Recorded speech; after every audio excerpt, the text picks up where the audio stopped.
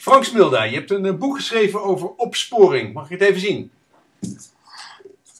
Ja, dat is uh, social media, het nieuwe DNA, een revolutie in de opsporing. Waarom heb je dit boek geschreven? Nou, ik heb een enorme passie uh, voor opsporing en in uh, 2005 werkte ik in Utrecht als tactisch coördinator waar we allerlei TGO's draaien, dus allerlei moord, moordzaken.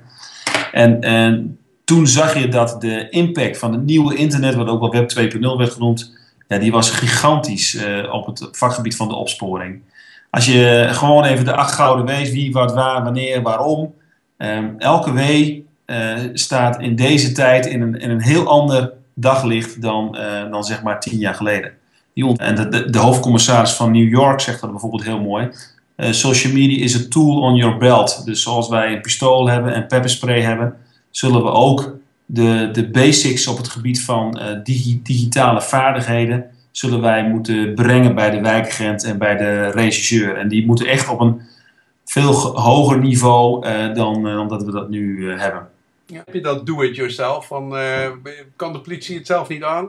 Ja, dat is een beetje een, een knipoog geweest aan de voorkant van het boek. Maar ehm, kijk, de, de digitale wereld geeft heel veel mogelijkheden aan burgers om dingen zelf te doen. Dat zie je in de do-it-yourself healthcare beweging en do-it-yourself uh, education. En dat zie je ook in, in de law enforcement wereld. Dus wij kunnen uh, als burger heel veel dingen zelf doen. De, de Nederlandse politie stimuleert dat ook. Dus wij, wij, hebben een enorme naam ook in de wereld als het gaat om burgerparticipatie. Nou, het interessante nu is van al die nieuwe uh, tools die op het web beschikbaar zijn, is dat je als burger nu ook zelf misdaden kunt gaan oplossen. En um, ik verwacht ook dat dat steeds meer gaat gebeuren, want wij zijn als overheid maar in staat om een klein percentage van de zaak op. Dus het gaat niet om meer blauw op straat, maar meer blauw op de juiste straat.